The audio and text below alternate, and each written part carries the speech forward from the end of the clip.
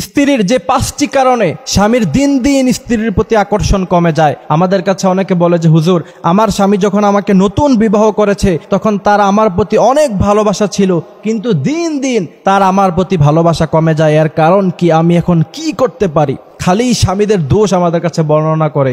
আসলে নিজেদের কিছু দোষের কারণে স্বামীদের আকর্ষণ কমে যায়, স্ত্রীদের প্রতি। নিজেদের সাথে মিলিয়ে দেখেন যে আপনাদের মধ্যে এই দোষগুলি আছে কিনা। যদি থাকে, তাহলে আজই পাল্টিয়ে ফেলুন এবং দেখবেন যে আপনার স্বামী আপনাকে আগের মতো আবার ভালোবাসা শুরু করেছে ইনশা আল্লাহ এক নাম্বার, মুখে মুখে তর্ক করা। অনেক স্ত্রী স্বামীর মুখে মুখে তর্ক করে, একজন সবল পুরুষ, সঠিক মস্তিষ্কের পুরুষ, জীবনে কোনোদিন এটা মানবে না। যে তার স্ত্রী তার সাথে মুখে মুখে তর্ক করবে। আল্লাহ রাসুল সাল্লাহ আলাইসাল্লাম তাদের জন্য বদোয়া করেছেন। যারা স্বামীর মুখে মুখে তর্ক করে, একজন পুরুষ এটা কখনোই মেনে নিবে না। আপনাকে সে হাজার ভালোবাসে থাকুক, কিন্তু আপনি যদি তার মুখে মুখে তর্ক করেন, দেখবেন যে আপনার প্রতি তার ভালোবাসা, তার আকর্ষণ দিন দিন কমে যাচ্ছে। এই জন্য মুখে মুখে তর্ক করা যাবে না। দ্বিতীয় নাম্বার কিছু স্ত্রী আছে, স্বামীর কথার উল্টা বোঝে। স্বামী একটা বোঝাইছে, বুঝে আরেকটা। স্বামী একটা ভালো জিনিস বুঝাইছে, এটা উল্টাটা বোঝে। স্বামীকে বুঝতেই চায় না।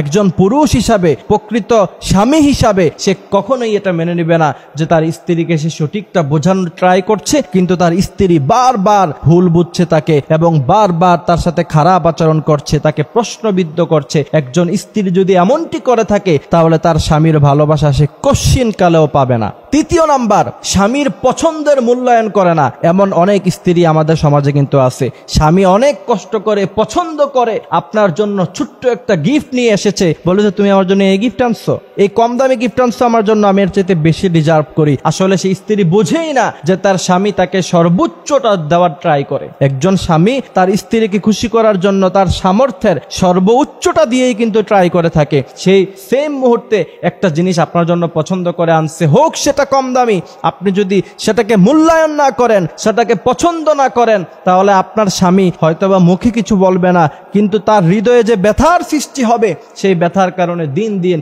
সে আপনার প্রতি আকর্ষণ হারিয়ে ফেলবে। আপনাকে সে আগের মতো ভালোবাসবে না। এটা স্বাভাবিক কথা। এটা সহজ সমীকরণ। নিজেদের সাথে মিলিয়ে দেখেন। এবং যারা বলেন যে তার স্বামী তাকে আগের মতো আর ভালোবাসছে না, অবশ্যই নিজের সাথে মিলিয়ে দেখেন যে আপনার মধ্যে এই দোষগুলি অবশ্যই আছে।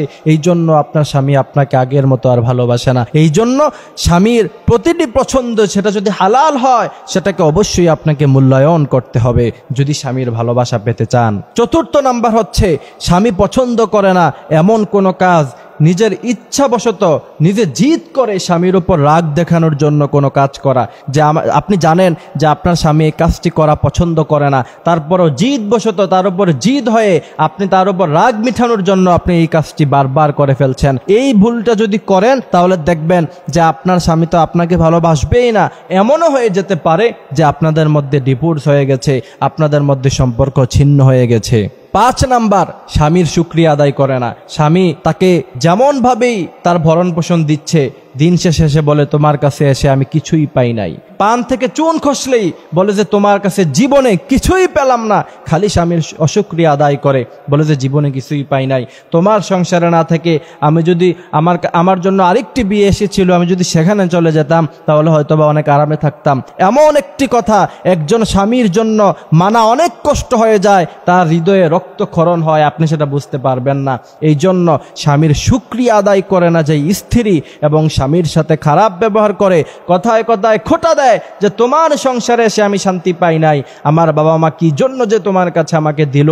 তখন একজন স্বামী সহ্য করতে পারে না। কারণ হচ্ছে, প্রত্যেকটি স্বামী চায় যে তার স্ত্রীকে সে সুখে রাখবে। তার স্ত্রীর জন্যই তো সে কষ্ট করে। এই জন্য, প্রিয় ভাইয়েরা, অবশ্যই আমাদেরকে এই বিষয়গুলি খেয়াল রাখতে হবে এবং স্ত্রীদেরকে খেয়াল রাখতে হবে যে এই দোষগুলি আপনার মধ্যে আছে কিনা। যদি থাকে, তাহলে আজই নোট করবেন যে আমার মধ্যে কোন কোন দোষ আছে এবং সেই দোষটি করার যখন সময় হবে, নিজেকে কন্ট্রোল করবেন, এভাবে দেখবেন যে দিন দিন ঠিক হয়ে যাচ্ছে। ইনশাআল্লাহ। আল্লাহ পাক কবুল করুক, আল্লাহ পাক আমাদেরকে বোঝার তৌফিক দান করুক। আমিন।